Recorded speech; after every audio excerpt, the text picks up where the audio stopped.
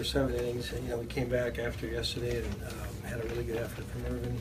Um, pitching through the jam there with the rain coming down, uh, that, that was that was good to see. Uh, we made a, a nice offensive day um, after being shut down early.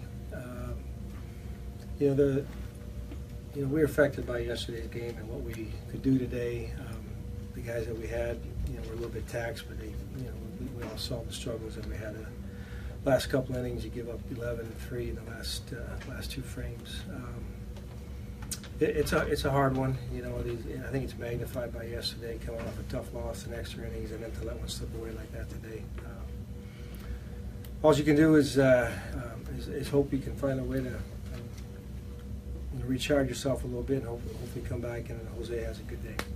How do you make the decision who to use there? You know, rather than use one of the two new guys, you want what would you do? We have one of the best offensive teams in the game with a six-run lead. Um, you can go with your experience and guys that you feel should get people out.